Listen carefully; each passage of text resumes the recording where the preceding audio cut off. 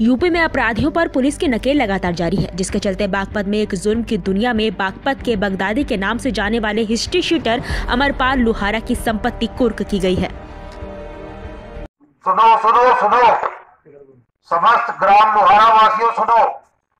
जन साधारण को सूचित किया जाता है कि न्यायालय, श्रीमान जिलाधिकारी मंडल मेरठ, जनपद तहसील वार्ड संख्या चौवन बटे इक्कीस आख्या बनाम अमरपाल उर्फ़ कालू पुत्र श्याम सिंह, निवासी ग्राम लोहारा, थाना छपरौली जनपद बागपत, अंतर्गत धारा चौदह एक गिरोहबंद एवं असामाजिक क्रियाकलाप निवारण अधिनियम 1986 के कुर्की आदेश के अनुपालन में, ग्राम लोहारा में अठहत्तर वर्ग मीटर में 10 वर्ष पूर्व एक मकान बनाया गया है। जिसके निर्माण की अनुमानित लागत साढ़े छह लाख रुपए है।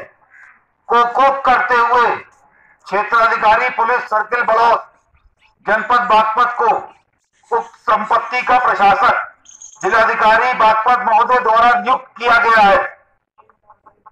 एवं आदेशित किया है कि उक्त वर्णित संपत्ति को अपने कब्जे में ले लें और जब तक विपक्षी उपरोक्त द्वारा संपत्ति अर्जित करने के संबंध में युक्ति संगत, विधि सम्मत साक्ष प्रस्तुत न किया जाए, तब तक उसे कुर्क रखा जाए।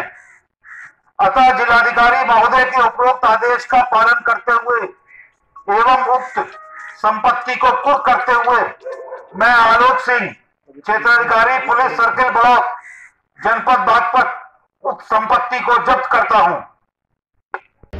दरअसल थाना छपरौली क्षेत्र अंतर्गत लुहारा गाँव के रहने वाले अमरपाल पर लूट, हत्या और डकैती और रंगदारी के 34 आपराधिक मुकदमे दर्ज हैं। और जुर्म की दुनिया में उसे बगदादी के नाम से जाना जाता है। क्योंकि अमरपाल ने आज तक जितनी भी हत्याएँ की हैं, उसका आज तक सुराग नहीं मिल पाया है। लेकिन अब बागपत पुलिस ने उसकी कमर तोड़ने के लिए उसकी संपत्ति को कुर्क करना शुरू कर दिया है। इसमें आज अमरपाल के मकान सहित साढ़े छह लाख रुपए की संपत्ति को कुर्क किया गया है। वहीं इस दौरान सीओ और एसडीएम सहित बड़ी संख्या में पुलिस बल मौजूद रहा।